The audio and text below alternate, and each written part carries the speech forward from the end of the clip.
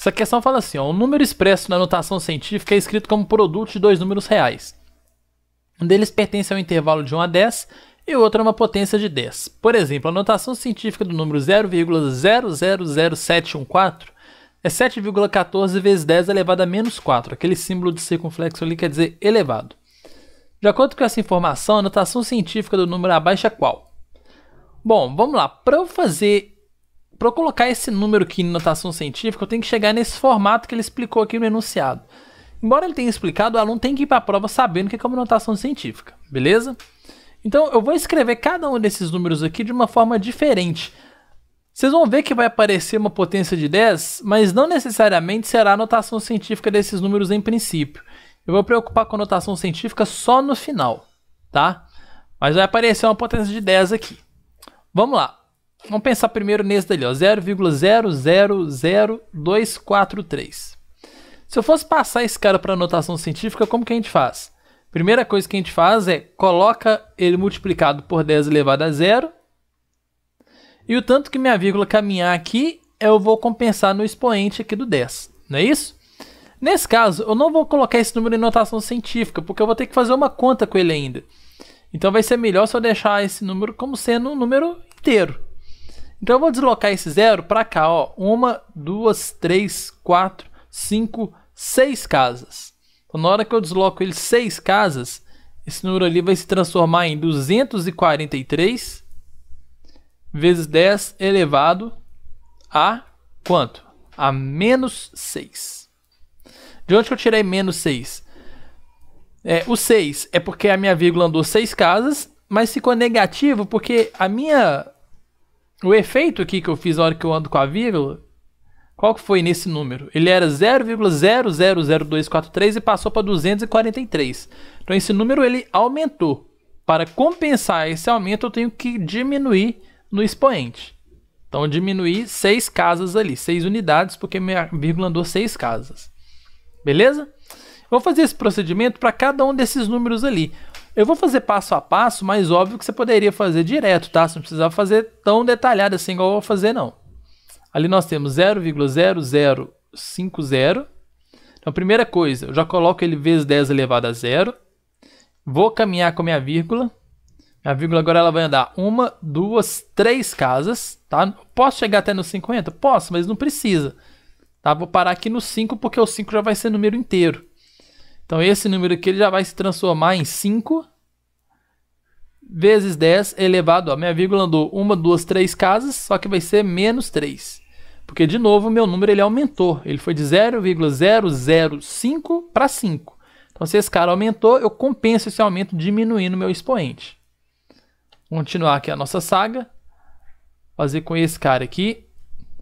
0,036. Eu começo colocando vezes 10 elevado a zero. Vamos passear com a vírgula. Uma, duas, três casas. Então ela vai virar 36 vezes 10 elevado a quanto? É, de novo aqui o meu número aumentou, então meu expoente vai diminuir. Então 10 elevado a menos 3. E o último, esse cara aqui, 7,5. Já vamos mandar aqui o 10 elevado a zero. A vírgula agora ela vai deslocar uma casa só, ela vai vir para cá. Então esse número ele vai virar 75 vezes 10 elevado a quanto? De novo, eu aumentei meu número, então meu expoente ele vai diminuir. Menos 1, porque foi uma casa só. Substituindo isso tudo lá na nossa expressão, ela vai ficar assim. 243 vezes 10 elevado a menos 6, vezes 5 vezes 10 elevado a menos 3, dividido por 36 vezes 10 elevado a menos 3 vezes 75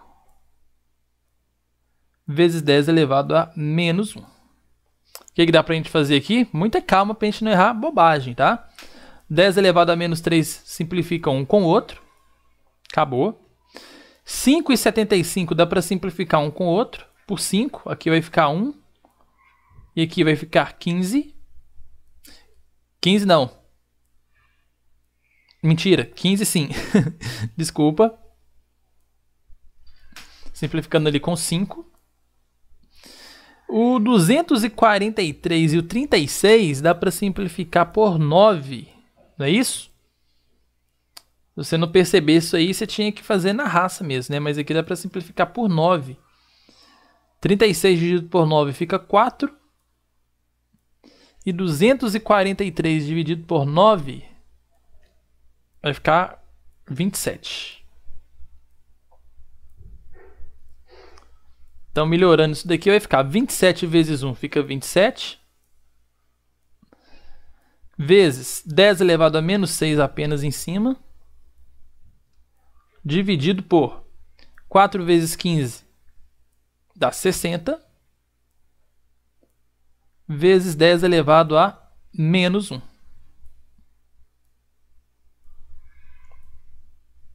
Correto?